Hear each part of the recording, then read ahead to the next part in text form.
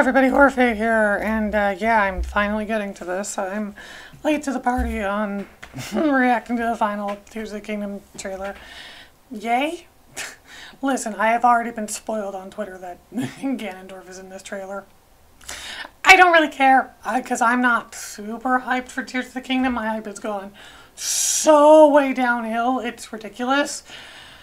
Like, I am so not hyped for Tears of the Kingdom to the point where I only am expecting from this trailer is story information. Um, which I hope they improve on the story because the story was like a, a kind of a weak point in Breath of the Wild. So hope the story's improved and better um, than what it was in Breath of the Wild. Um, I don't have my hopes up. Like, I am so not hyped for Tears of the Kingdom. Not to mention, it's the first $70 game. I'm so not hyped for this to the point that I am probably going to wait for a price drop until I get to the kingdom.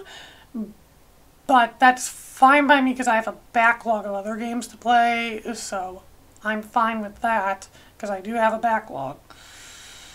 Uh, so that's I'm I'm fine with taking a break. I want to hear. I probably will want to hear more stuff about the game when it comes out before picking it up immediately for myself, unless this final trailer is so intriguing, especially story-wise, that I would want to pick the game up immediately to avoid spoilers, like I did with Deltarune Chapter 2, where, where I had to play Deltarune Chapter 2 just immediately just to avoid spoilers on the internet. so hopefully we get something equivalent to that. Uh, because here's the thing, even if the gameplay ends up being similar to Breath of the Wild, and I'm not super interested in it because Breath of the Wild's gameplay I got a lot of problems with. If the story is interesting enough to me, uh, I that's going to be a big win to overlook gameplay stuff a lot of times for me because I'm like that with like Rule of Rose, because Rule of Rose has great atmosphere and characters and story, but the gameplay is uh, has a lot of problems. But it's so good with everything else it does outside the gameplay that I can kind of overlook a lot of the gameplay problems. Hopefully, Tears of the Kingdom does that for me. But let's just get to it.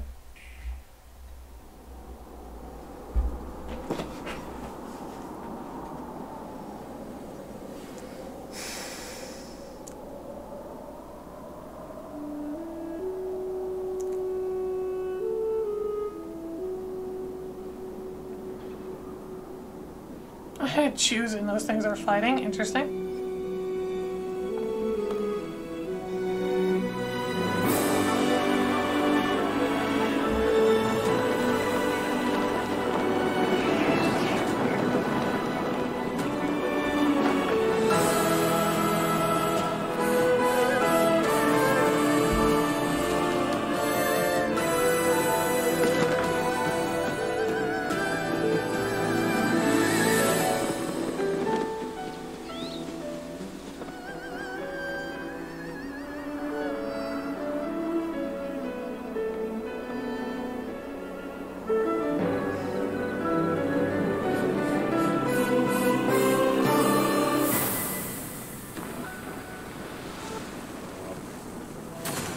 Gerudo, that's a castle, and this is all being lifted up into the sky, right?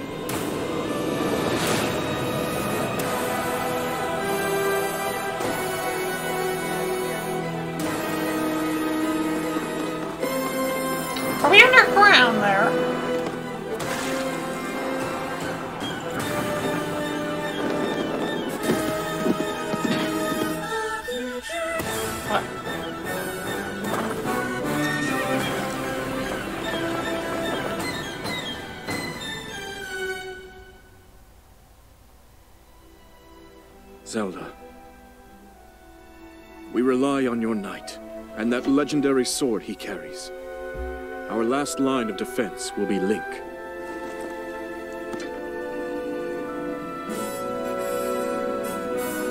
Link.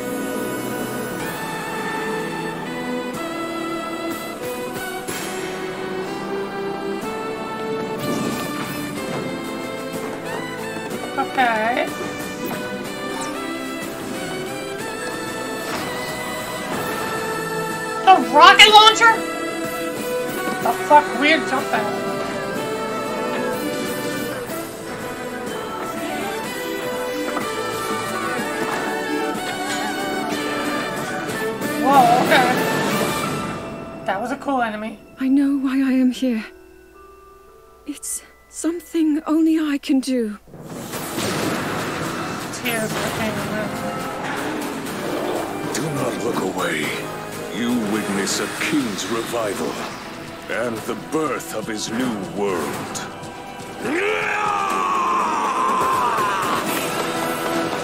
Okay, let's go!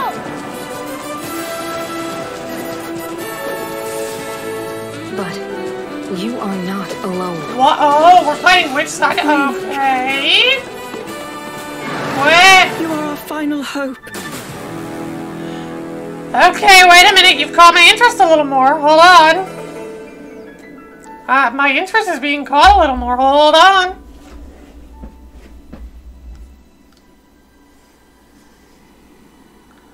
Link! You must find me. Find you? Am I am I eating my words about this uh, being seeming like a seventy dollar DLC? Okay, hold on. Back, back, back, back, back, back, back. Back, back, back, back, back. Uh, where was it? Du- du- du- du. There was something I immediately wanted to look back at. It was kind of early in the trailer, I think. Maybe it wasn't that early in the trailer. Okay, first of all, there's there's this. I love sections like this where you dive through lasers. That's always fun.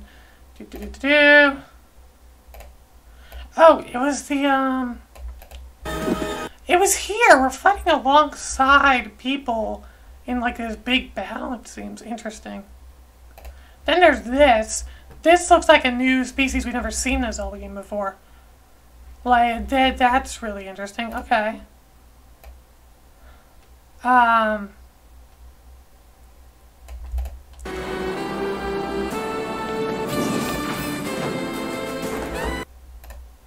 Okay. That, uh, this carriage thing, I'm assuming is part of a side quest. Like, bring these people with a carriage to someplace, I'm assuming.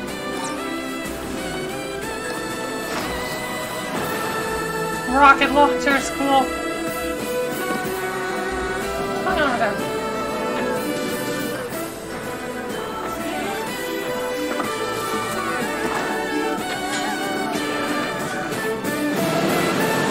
That's cool.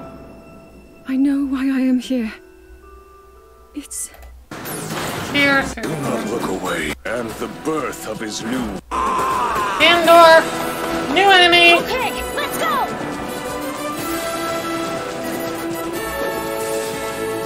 But you are not. This. Alone. We're fighting which side on? Interesting. What? I know it's probably going to be like this is one area of the game. You team up with Sidon for like one dungeon or area, go to another area, team up with um, the people from Gerudo and um, uh, Dorito and uh, Brain Dying and Goron. areas probably do that, and you do that for like a dungeon or an area, and then they're probably gone afterwards. Like it's probably like one section of the game we're seeing here. Uh, would be my guess. Uh, it does seem where do, do, do, do, do. Gotta go back again. Where? What am I looking for? Is it?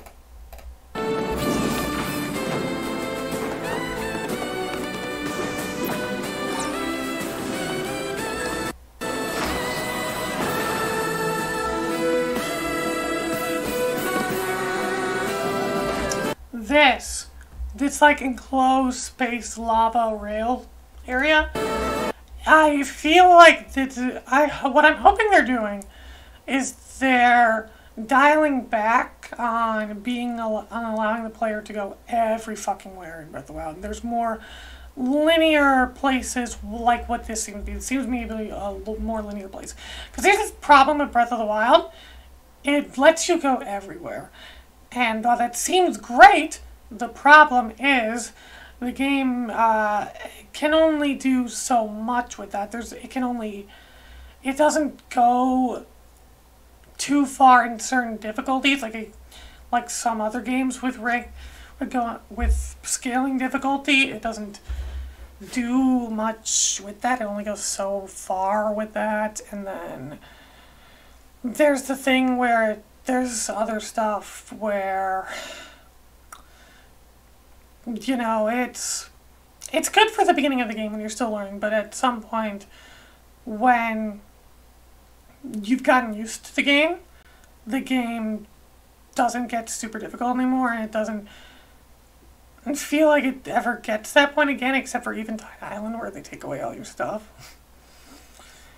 Um, I am hoping, what I'm seeing from this, what I'm hoping from this, is that the developers at Nintendo realize that we've been playing Breath of the Wild for, what has it been? Oh god, it came out in 2017? It came out in 2017, so it's been six years. Good, it's 2023, so it's been six years. Um, so it, yeah, six years. And what I would hope the developers would realize is that, hey, people have gotten good at Breath of the Wild's combat and stuff. Letting them just be able to do everything, like having a ridiculous amount of freedom that Breath of the Wild had, would be stupid. It would be stupid because people are good at Breath of the Wild at this point in six years. They know how to. We know how to play the game. Okay, people have even replayed Breath of the Wild to get hyped for Tears of the Kingdom. And I've replayed Breath of the Wild. I've played Breath of the Wild like three times over. Two of them being full 100% playthroughs. And I've gotten the Korok Seeds in all three of my playthroughs, all, all the time. They suck. I am very confident in saying Korok Seeds suck. And I really hope that they fix the Korok Seed problem. Um, it feels to me like what they're doing is having a few more there's going to be, I feel, a, mm, closer to a mix of older Zelda along with Breath of the Wild style is what I feel. Just the fe- feeling I get from this area alone, this enclosed space alone. I feel like we're going to enter places that are going to be more like traditional Zelda. At least that's what I'm hoping. And while still having some, you know, freedom stuff, the, the how Breath of the Wild handled it, I feel. Um,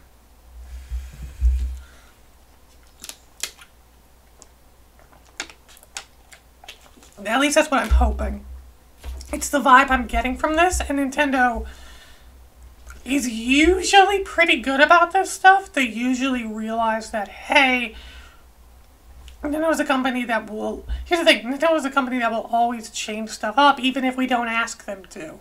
The Paper Mario fans know. Paper Mario fans know the pain. Uh, we know. Uh, you know, they'll change stuff up even if we don't ask them to. And they'll change it pretty drastically. Uh, this is one of those games where Tears of the Kingdom needs to be a big change from Breath of the Wild while still feeling similar. That is a hard balance to get. And that's one of the reasons I have been so skeptical about Tears of the Kingdom is because they ha- they haven't shown it, it doesn't feel like it feels the way they've been advertising this game, right? They've been very secretive until this trailer. And to me, it feels like that reeks of not confidence with Tears of the Kingdom. Unlike Breath of the Wild, where there was a whole E3 showcase that like showed the Great Plateau and everything. It was a lot. It was a lot. It, that was that E3 showcase of Breath of the Wild, Pra- Plateau at E3 is what sold is what like got me onto the Switch and Breath of the Wild. That Great Plateau showcase is what sold me on it. Um, and I, I loved the coverage from E3 when they were showing Breath of the Wild and the Great Plateau. um, for the first time. And I was waiting for a moment like that uh, for Tears of the Kingdom for so long. And it feels like this trailer is finally that sort of. There's no E3 this year, so no one gets to play demos and stuff and try it out.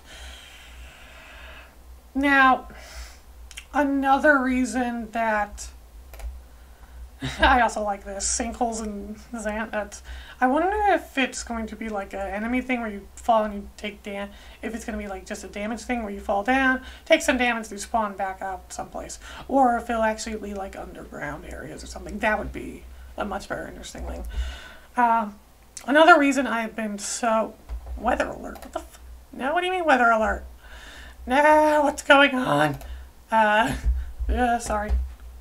Over here. But uh, another reason I have been so. Oh. Alright, I'm back. Also, the special weather is that elevated fi- fire conditions. Oh boy, that's. mm, okay. Um. But part of the reason I've been. I like this as well. Underground, we have the armor because it's obviously very hot, magma and stuff. I do like this aesthetic. I like this a lot.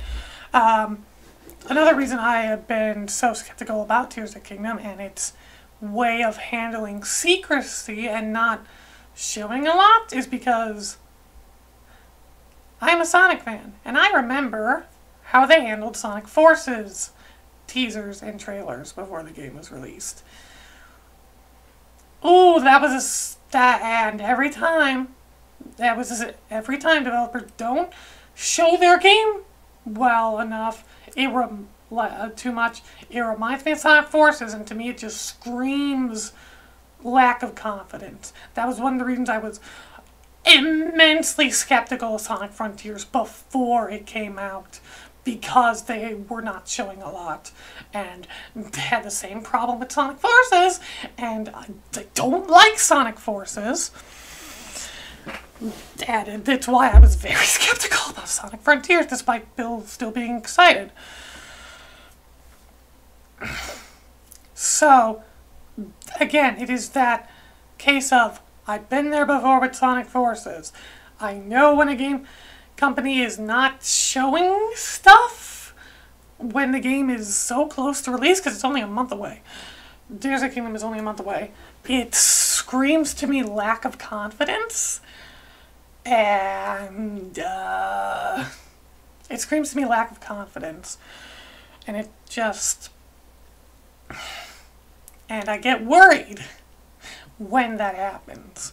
I very much do. Uh, You know? I, I very much, I, you know, uh, it's not, and again, I just, it's weird, because this is basically what I feel is going to be the end of the Switch. I feel like this, Tears of the Kingdom Mirror, is going to be the end of the Switch. This is going to be the last, like, major game of the Switch. I don't think we're getting another 3D Mario platformer for the Switch. I think Tears of the Kingdom is going to be, like, the end, like, the last major Nintendo game for the Switch, unless they make a new F Zero game or Star Fox game. But um, I feel like Tears of the Kingdom is going to be the last major game for the Switch before they move on to another console. Which, by the way, I hope their next console is not just Nintendo Switch 2, because I already have enough problems with Nintendo Switch and Joy-Con drift and other technical difficulties with Nintendo Switches uh, low, you know, bad performance compared to other console hardware. I'm like, Nintendo, I don't want Nintendo Switch 2. Um, no, thank you. Um, so I'm assuming that this is like one of their last big games for Nintendo Switch before they move on to another console. And I'm, what I'm hoping is that they don't end it in the same way that started. That's the thing. I do not want Tears of the Kingdom to feel like Breath of the Wild back in 2017, back when Nintendo Switch started. I don't want to feel like we just got the same game at the beginning of the Switch lifespan and then the end of the Switch. That's another reason I've been so skeptical and worried. It's like, but this is Nintendo we're talking about. I just realized that typo? This I is dotted over here, but this I over here is not dotted. What? Okay. Anyways, the brain. so that's one of the reasons I've been like very skeptical about uh, about Tears of Kingdom. I, you know, I and the thing is, it's not just been. eh, The thing is, Nintendo has not done to, except for Mario and Metroid. it doesn't feel like Nintendo has done a lot to make me feel confident in how they've been handling their IPs lately as well. That's also made me very skeptical and worried about Tears of the Kingdom. Pa- for example, there's Paper Mario. That's a whole thing. I don't need to get into it because you probably heard it a million times. At least if you're on the internet, you know. There's that. There's okay. I haven't played Fire Emblem Engage, but I, uh, but I kind of hear that like its story is like weaker than other Fire Emblem games, and it's like a mixed bag of stuff. I haven't played Engage. I've only played Three Houses. Three Houses is the only Fire Emblem game I played. There's no F Zero. There's no Star Fox. I'm confident in Pikmin 4, but come on, it's Pikmin. They've always gotten it right. But I do feel like these last, like, I feel like once 2020 hit, you know, once we got into, like, the lockdown and stuff, once that hit, I feel like once that hit, Nintendo Switch has just dropped in, Nintendo's dropped in quality, I feel, once that happened. Um, and I just haven't felt as confident in Nintendo lately compared to the beginning of the Switch. Um, I'm hoping Tears of the Kingdom and whatever console they're moving on to next after Nintendo Switch, because let's be real, they're going to move on to another one soon. Let's be honest. It's been six years. They're going to move on to another one soon, in like another year or two.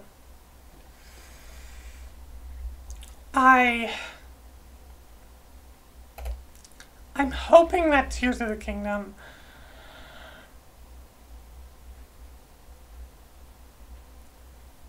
does stuff that's. I hope it lives up. I hope it goes past my expectations because my expectations are still a bit low. They're not super big.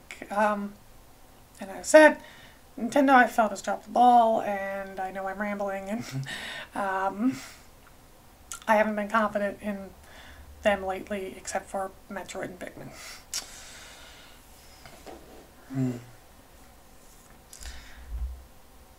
And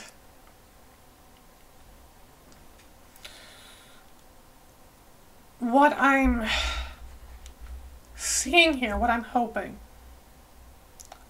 it feels like with stuff like this, you know, and this. Yes, I know my quality sucked. It's on 360p. I know it's not super high quality. Let me go up a bit. Um, because that's my internet being shit. But, um, right. Back to what I was getting to. Because Nintendo's about drop the ball and stuff. You know, we had Mario 3D All Stars being a limited release. Like, why? Why is it a limited release? And why wasn't Mario Galaxy 2 also ported? There's Mario 35th Anniversary, which you can't get anymore. You know, Mario 35. They've done a lot of weird stuff. They've done stuff, some great stuff on Nintendo Switch, but they've also done some not so great stuff on Nintendo Switch. And then it feels a lot of times where Nintendo Switch just feels, especially a lot recently, a lot of the system that feels more for third party developers than Nintendo themselves. I feel like Nintendo hasn't put out anything super big since the beginning of the Switch's launch. I mean, as I said, no F Zero, no Star Fox. We only now just got a Metroid Prime remaster. And, you know, where the heck is Metroid Prime 4? I don't know. I haven't played any Metroid game, by the way. I just hear Metroid Prime remaster, like, knocked it out of the park. Um,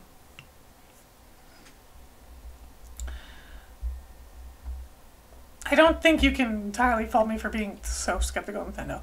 What I'm seeing here, what I'm hoping here, is that what I'm seeing, what I'm hoping here in Tears of the Kingdom is something that I like about Zelda, especially compared to other Nintendo franchises. Zelda, in my opinion, is their story franchise. It is what they do with their story. It's what they do when they want to tell more story based games. And that's how I feel with Zelda. I like a lot of Zelda stories. Um, it's one of the big highlights for me in Skyward Sword. Uh, but Breath of the Wild, for me personally, really dropped the ball on the story. I mean, the, the main characters of the story are like dead. it's hard for me to care when they're dead. I will be fully real, uh, and like I get the idea. Yes, go to begin to like, you know, avenge the dead and save the kingdom, save Zelda. It's hard for me to entirely care when the main characters are dead. It does feel like here we are focusing more on people who are actually living in the world currently and actually are going to be a little more affected by Ganon, thankfully. Um, that and I do feel like this. I feel like Nintendo didn't. Nintendo was being good experimental with Breath of the Wild. And didn't fully know what to do with certain aspects of the game.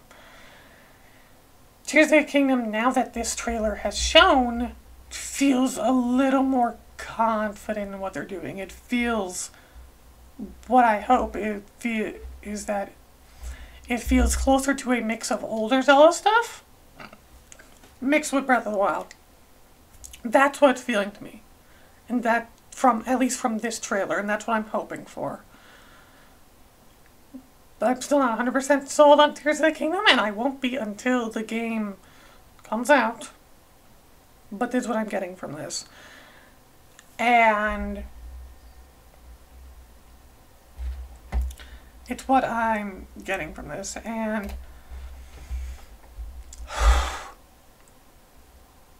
got almost half an hour.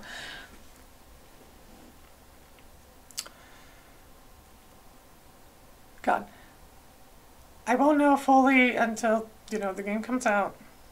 That's what I hope. I hope for a closer mix of older Zelda, older 3D Zelda mixed with Breath of the Wild. What Tears of the Kingdom needs to do, what I'm hoping for, is that it needs to convince me that it is the Legend of Zelda Tears of the Kingdom and not the Legend of Zelda Breath of the Wild 2, if you know what I mean. It needs to be distinct enough of itself. For example, The Legend of Zelda Majora's Mask, despite reusing assets from Ocarina of Time, is so distinct enough from Ocarina of Time and every other Zelda game that it's not, even though it is an Ocarina of Time sequel, it is not Ocarina of Time 2. It is unique in its own way. That's what Tears of the Kingdom needs to be. It needs to be unique enough in its own way, separate from Breath of the Wild. It needs to feel like its own game and not just Breath of the Wild 2. And that is what I am ultimately hoping for. That is what all this rambling has come to. That's my big point in this rambling. That's what it's come to. That's going to be it for now. I'm going to stop here. I'm going to edit this, and then I'm either going to go to sleep, watch a movie, watch something else, or I'm going to go back to editing Xenoblade. God, that's a lot of editing I have to do. I have a lot to edit. It's going to be it for now. Hope you enjoyed these thoughts. I'm still skeptical, but with this trailer, I'm not as skeptical as I was before.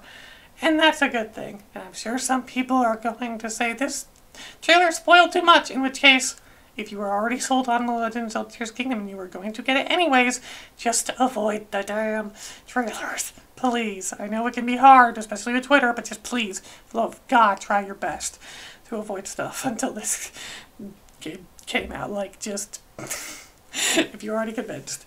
But for people like myself who are not convinced, this trailer was very close to what we needed. It ain't no E3 demonstration like what Breath of the Wild got, but it's hopefully close enough. And